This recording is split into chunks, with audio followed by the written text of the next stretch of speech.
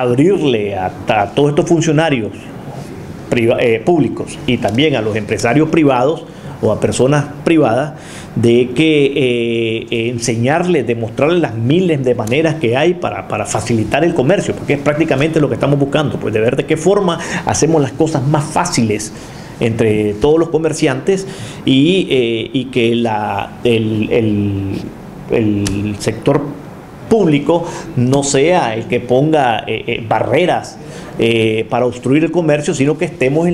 sintonizados pues, en la misma onda y que comprendamos cómo, cómo, cómo, cómo va a ser esto por el bien del país.